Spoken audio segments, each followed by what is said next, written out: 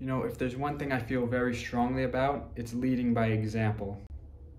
So if you've seen the title of this video, you know what I'm going to be talking about, and that is the importance of meditation, and at least what I have found to be beneficial about the practice. But um, as mentioned at the start of this video, I believe strongly in leading by example, so before I even got to filming this video, I made sure to have a meditation session. And to be honest, I was kind of tempted not to because I figured, oh, I'll just do it after filming the video. But, you know, another thing I feel strongly about is having good discipline. So I pulled myself up by the bootstraps, had the meditation session, and it was very enjoyable and um, relaxing. And I'm really glad I did it. Now, after that meditation session, I took a cold shower, which is um, a hard thing to do, especially in the fall winter time, because you know it's cold as hell out. But you know, gotta strengthen myself up. And after that, I went for a long morning. Well, not really long to be honest, but a quick morning walk, because you know, gotta get my walks in. And you know, one last thing before I promise I'll get to the importance of meditation, but even before all this, I made sure to go to the gym the first as soon as it opened because I woke up a little early today, which was annoying, but you know, I slept fairly well, so it wasn't the end of the world.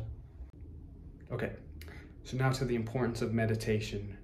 Now, full disclaimer, I um, this is not like a big in-depth research video. It's just you know, my own personal experience and what I found about meditation to be helpful, and you know why it took me so long to do it, but why I'm really glad I did it.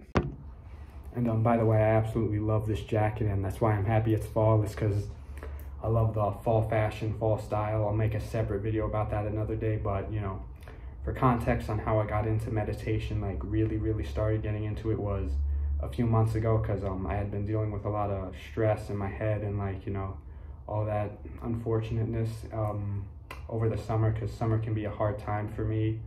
But um and i had been feeling almost even so much as disconnected from everything but doing meditation helped me find my way back and you know if nothing else i figured you know what do i have to lose about trying something new which is um another thing i believe strongly in about is you know sometimes it's hard to find the solution but you know once you do you just got to do it so why do i love meditation so much um, to be fully honest and transparent, it's just very relaxing and clears my head, which is full of a lot of crazy thoughts sometimes.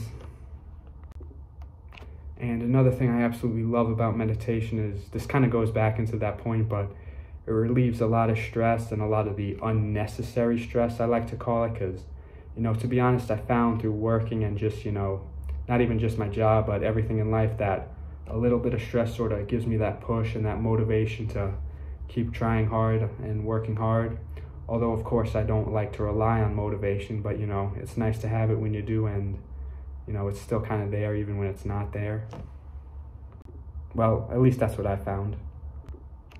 And you know, at least from the meditation app that I use, I find it to be um very creative, which you know, if you know me, you know I'm very creative and I love my creativity. Um I'm trying to find even more ways to be creative outside of just my writing and my artwork, you know. And, you know, I figure meditation's why not a bad place to start. And being a creative person and having the type of personal pera personality that I have, I find that, you know, creative problem solving is the best problem solving for me.